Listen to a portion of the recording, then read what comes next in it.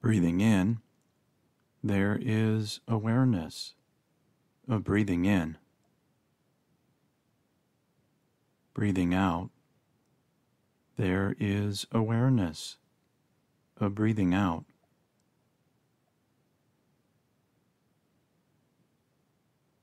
Breathing in,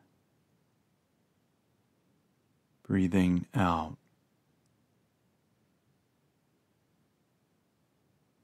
In, out.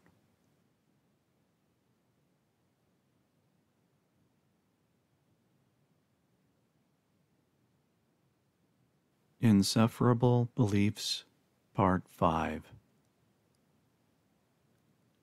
Negativity Bias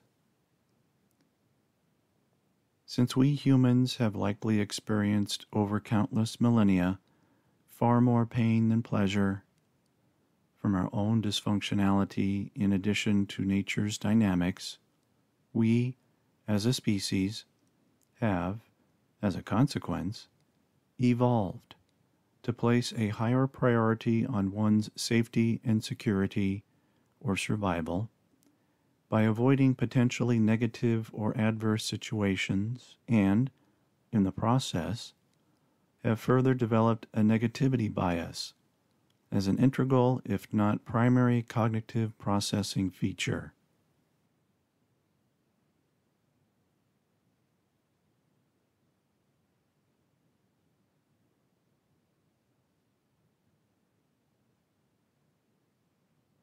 Negative Nellies. Those of us with hardcore negative life outlooks, believing virtually every life experience will, in our mind, end with yet more suffering. Further perceive positive or rewarding events as subversely negative. Flukes that were never meant to happen or should never have happened results that will never last, or as experiences that could have been even better than they ultimately were.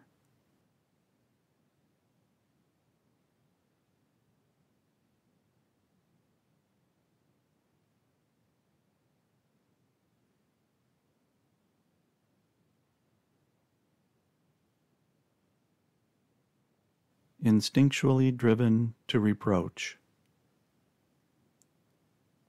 With humanity's instinctual propensity for focusing on the negative, many of us will invariably make it a point to call out or even punish those who commit the slightest errors, omissions, or transgressions, as well as fail to do things our way or in ways they should have been done, and we suffered because of their seeming thoughtlessness while rarely, if ever, noticing, let alone praising others for everything they otherwise do right or correct.